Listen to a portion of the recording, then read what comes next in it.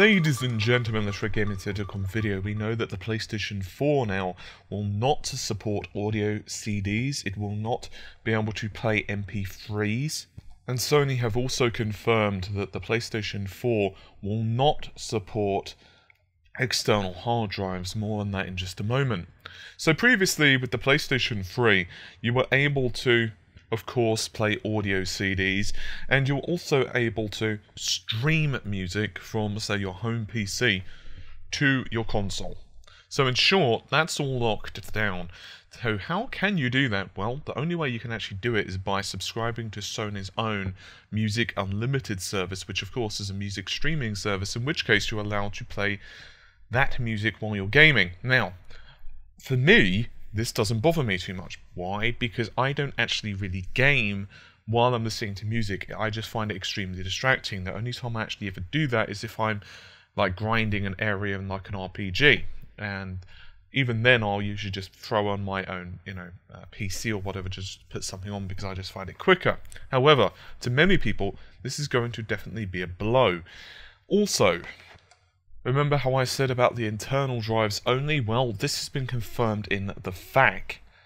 You cannot physically plug in a second hard drive into the machine via a USB port.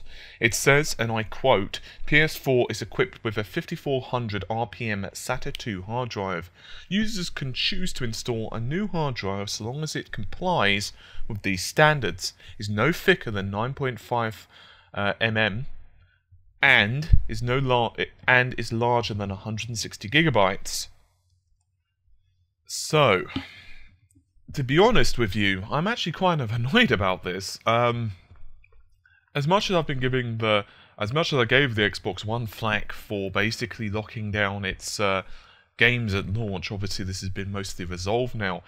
People are already smacking Sony around. Um, I've seen posts on Twitter, Reddit, and a couple of others.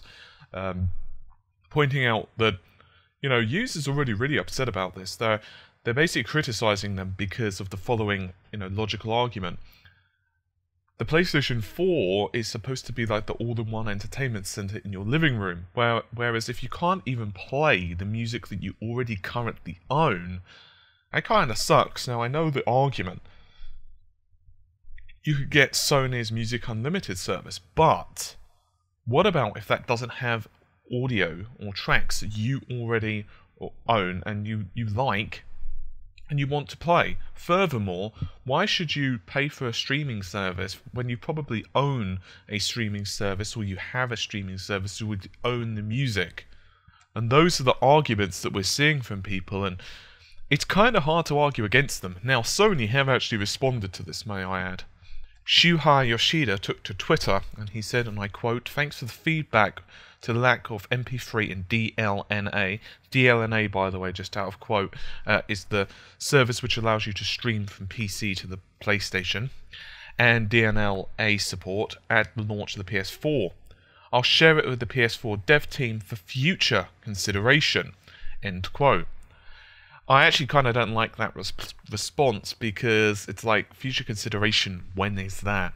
Now I know this sounds a bit harsh on the PlayStation, but I I'm actually really shocked about this. I knew that the streaming unlimited service was being implemented, but I thought it was going to be in conjunction, and I don't really think it's morally right for us to jump on the Xbox One uh, DRM situation but then not do the same because effectively the whole purpose of this if you read between the lines is to basically lock the PlayStation 4 down so that you can only play music and force you to get the streaming unlimited service.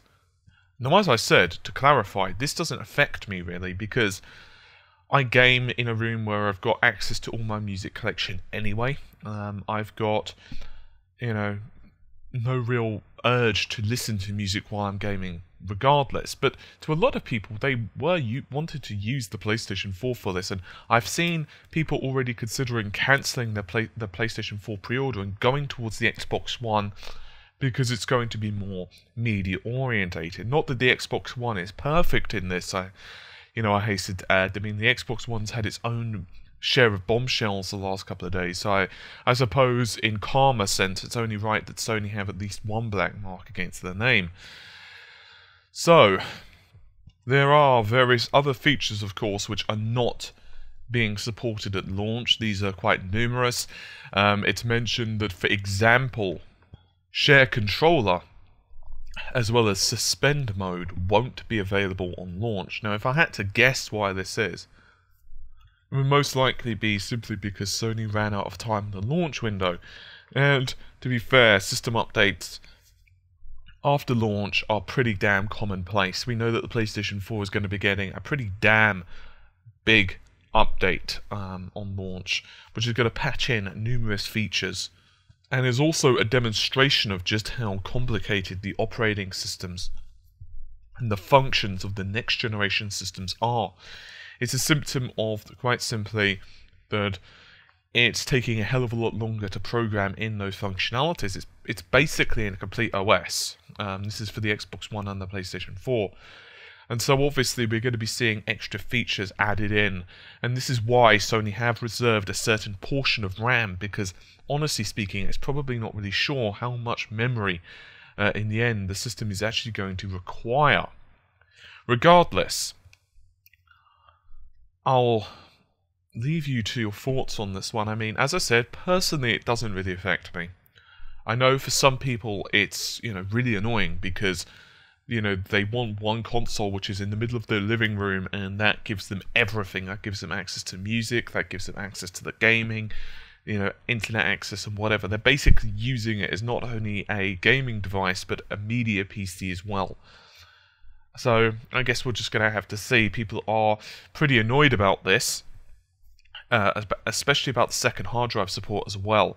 I'm not 100% sure on this, but I'm pretty certain that there were murmurings that you could actually link in another drive via, via USB, but I'm not 100% certain, so I'm going to have to do a bit of checking on that. I would do so now, but I'm running extremely late and I still need to go to work and I need to edit videos, unfortunately. Well, regardless, hopefully you've enjoyed the relatively short video. Do let me know what you think about this one. I'm as I said, it doesn't affect me, but you're already getting people who are doing the I'm cancelling my pre-order uh, dance on the internet. But regardless, I'll see you soon. Take care. Bye for now.